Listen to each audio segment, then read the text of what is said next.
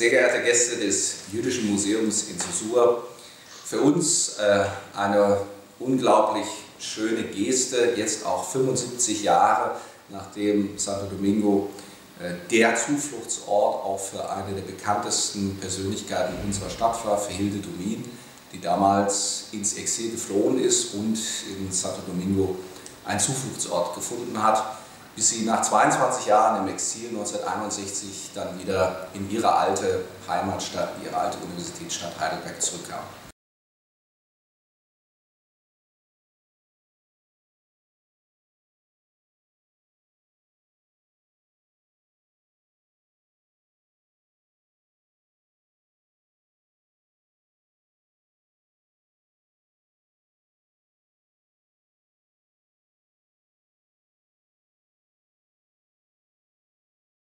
Am 4. August 1940 entlud sich einer jener Tropenregengüsse genau in dem Moment, als die kleine Propellermaschine der Pan American ihre einzigen zwei Passagiere in der Nähe von San Pedro de Macorís mitten auf dem Meer auf einer Holzplanke, die auf ein paar Teerfässern auf und nieder ging, abgesetzt hatte.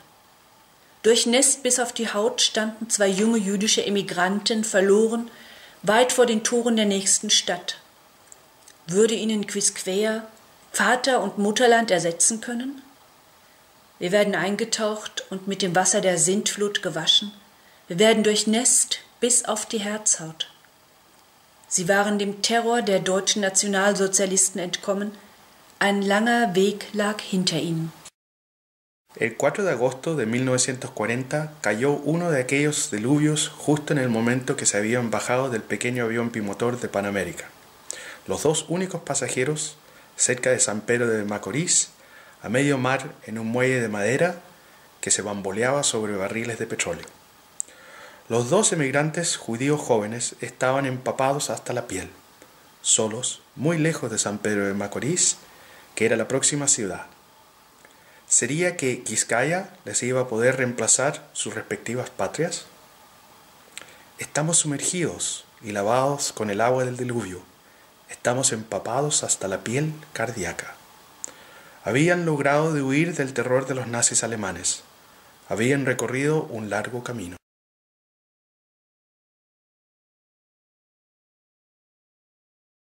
Ich habe Heimweh nach einem Land, in dem ich niemals war, wo alle Bäume und Blumen mich kennen, in das ich niemals gehe, doch wo sich die Wolken meiner genau erinnern ein Fremder, der sich in keinem Zuhause ausweilen kann.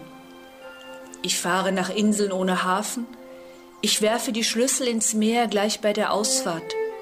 Ich komme nirgends an. Mein Segel ist wie ein Spinnweb im Wind, aber es reißt nicht. Und jenseits des Horizonts, wo die großen Vögel am Ende ihres Flugs die Schwingen in der Sonne trocknen, liegt ein Erdteil, wo sie mich aufnehmen müssen, ohne Pass auf Wolkenbürgschaft.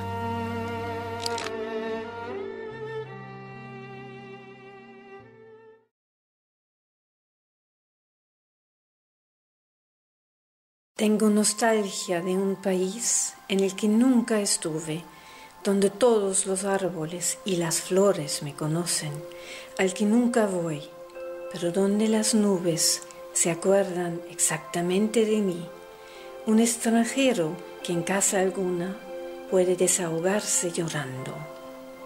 Viajo hacia islas en puerto, tiro al mar las llaves inmediatamente al zarpar. No arribo a ninguna parte, mi vela es como una telaraña, pero no se rompe y aliente el horizonte donde todos los grandes pájaros al final de su vuelo secan las alas al sol hay un continente donde me deben recoger sin pasaporte, bajo fianza de las nubes.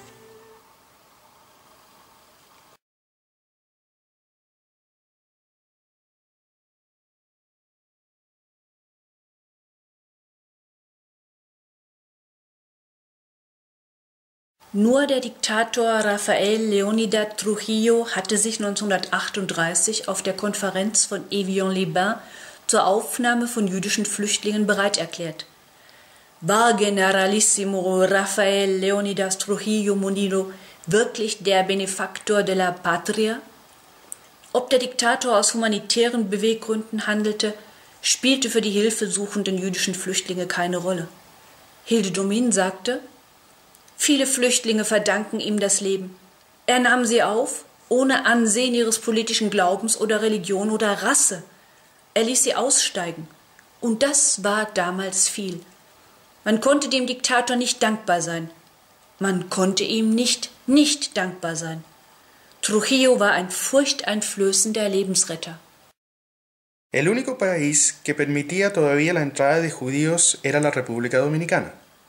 El dictador Rafael Leonidas Trujillo Molina había sido el único que en la conferencia de Bien-le-Vans de 1938 se había declarado dispuesto a dejar entrar en su país a refugiados judíos. ¿El generalísimo Trujillo fue realmente el benefactor de la patria? Para los refugiados judíos que andaban en búsqueda de algún lugar donde poder vivir, poco importaba que el dictador se hubiese declarado dispuestos a recibirlos por motivos humanitarios o solo para que el mundo no le condenara por las atrocidades que cometió. Muchos refugiados le deben la vida. Él los recibió fuera cual fuera su ideología política o su creencia religiosa o la raza, él permitió que se bajaran. En aquel entonces eso ya significaba mucho.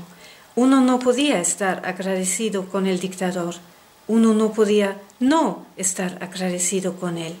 Trujillo era un salvador que lo hacía temblar a uno de miedo.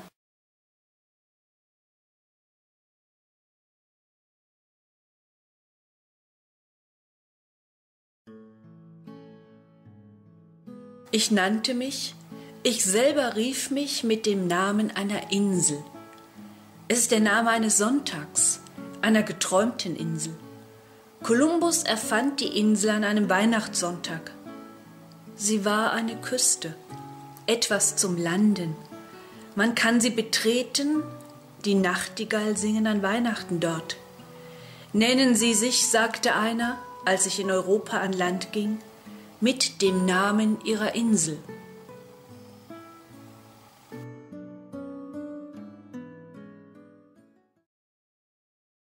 Yo me llamé, yo mismo me designé con el nombre de una isla.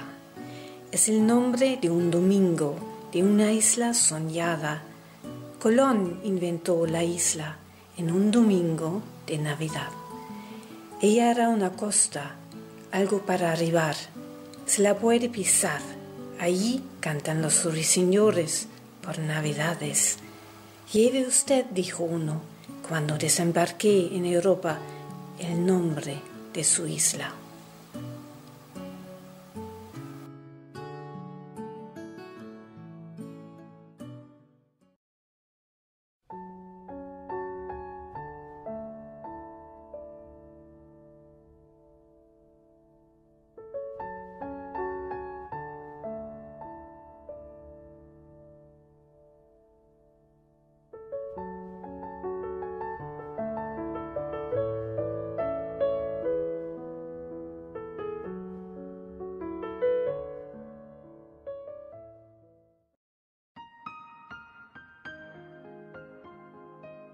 Die Dominikanische Republik ist ein gastfreundliches Land.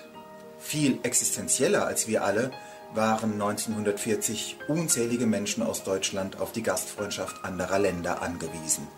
Viele Juden, die vom Naziregime nur wegen ihrer Religion verfolgt, enteignet und umgebracht zu werden drohten, suchten verzweifelt ein Land, das sie aufnahm und ihnen Schutz bot. Die Dominikanische Republik stellte im Jahr 1940 auch in dieser schwierigen Lage ihre Großzügigkeit und Gastfreundschaft unter Beweis. Sie nahm mehrere hundert Juden aus Deutschland auf und bot einen sicheren Hafen. Unter den Juden, die sich 1940 in die Dominikanische Republik retteten, waren auch der deutsche Kunsthistoriker Erwin Walter Palm und seine Ehefrau Hilde. Nach der Ankunft stellten sie ihre künstlerischen und intellektuellen Fähigkeiten, auf die die Nazis keinen Wert mehr legten, in den Dienst des Landes, das ihnen Aufnahme gewährt hatte. Solange beide hier lebten, machten sie durch grundlegende Forschung und Publikationen die historische und kunsthistorische Bedeutung von Santo Domingo erstmalig bekannt. Hilde Palm nahm später aus Dankbarkeit für die Gastfreundschaft der Dominikanischen Republik den Dichternamen Hilde Domin an. Nehmen wir die Geschichte von Erwin Walter Palm und Hilde Domin als politischen Auftrag an uns alle. Erstens für eine verantwortliche Politik, die verhindert und anprangert, wenn Menschen aus religiösen, politischen oder anderen Motiven drangsaliert und verfolgt werden. Und nehmen wir zweitens die großzügige Gastfreundschaft der Dominikanischen Republik als Beispiel und Vorbild dafür, was wir zu tun haben, wenn Menschen in Not und Verzweiflung an unsere Tür klopfen und um Aufnahme und Schutz bitten.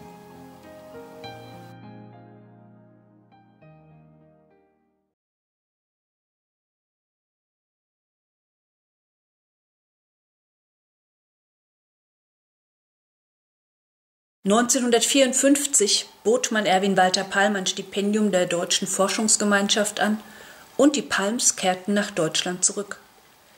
Hilde Domin war in Santo Domingo zur Dichterin geworden. Sie hatte in Deutschland 1954 ein Pseudonym angenommen, um ihrem Mann keine Konkurrenz als Dichterin zu sein. Aus Dankbarkeit zur Dominikanischen Republik aber, wo die Dichterin Hilde Domin geboren worden war, nannte sie sich Domin. En 1954, la Sociedad Alemana de Investigación le ofreció a Erwin Walter Palm una beca y los Palms volvieron a Alemania. Hilde Domin escribía poemas y tuvo que recorrer un camino muy empedrado en el mundo literario alemán hasta que se reconoció el valor de su obra a partir de 1968. Hilde Domin asumió en Alemania en 1954 el seudónimo para no competir con su esposo como escritora de poemas. Y en señal de agradecimiento con la República Dominicana, donde había nacido la escritora Hilde Domín, adoptó el nombre Domín.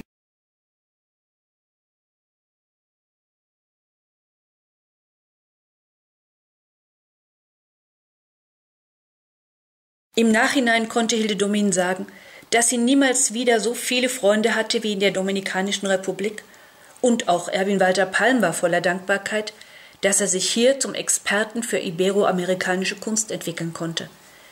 Erwin Walter Palm starb 1988 an Nierenkrebs. Hilde Domin wurde 96 Jahre alt. Sie starb am 22. Februar 2006 in Heidelberg als große Dichterin. Pero en la época posterior, Hilde Domin siempre dijo que nunca volvió a tener tantos amigos como en la época que vivió en la República Dominicana. Y también Edward Walter Palm siempre estuvo muy agradecido de que se había podido convertir en experto de arte iberoamericano. Erwin Walter Palm falleció en 1988 de cáncer al riñón. Hilde Domin murió el 22 de febrero de 1906 a la edad de 96 años en Heidelberg, habiendo llegado a ser una gran poetisa.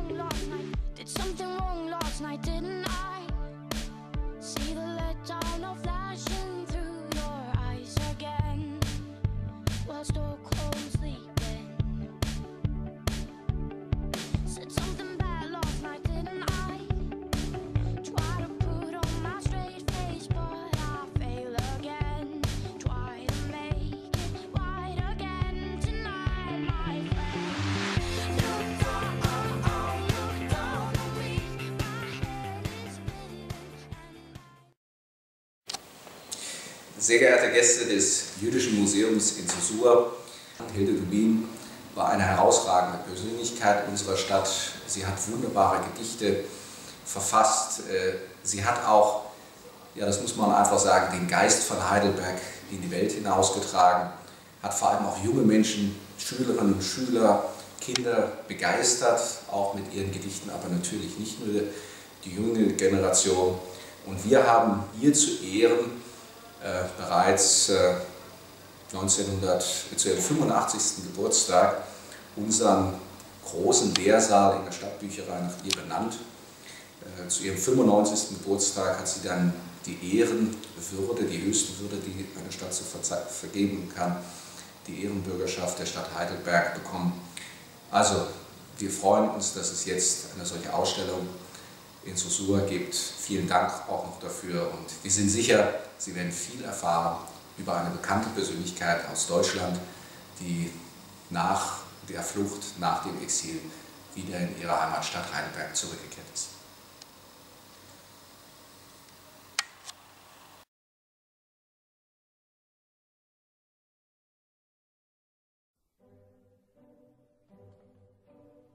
Man muss weggehen können und doch sein wie ein Baum, als bliebe die Wurzel im Boden, als zöge die Landschaft und wir ständen fest.